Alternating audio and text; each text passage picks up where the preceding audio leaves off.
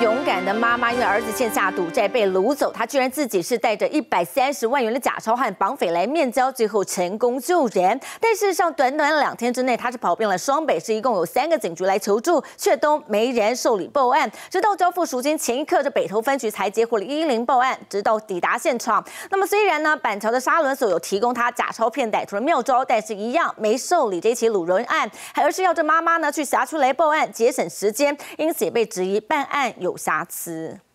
白衣女子和友人在人行道上左右张望，神情慌张，因为妈妈接到绑匪电话，到指定地点交付赎金。他们一直往路口走，消失在监视器镜头，随后竟然也被强压上车。交付赎金的地点在北投，但其实妈妈一大早的时候来到板桥的派出所进行求救，但她钱不够，警方还热心提供了一大把的道具纸钞，而其中呢，在前面加上真钞，以假乱真。中央银行写民国银行，还印有神明图案，这些拜拜用的冥纸。成功把被害人救出来，但他连两天跑了四个警局，才终于有人受理报案。八号晚间，妈妈就近到树林派出所表示儿子失踪，警局发布紧急协寻，定位到手机位置在士林。于是隔天凌晨四点多，辗转到文林派出所调阅监视器找人，而是定位在北投。七点多接获绑匪勒索电话，再到板桥沙仑派出所求救，但远警建议直接到北投报案比较省时，而他救子心切，到了交付赎金现场才拨打。一一零，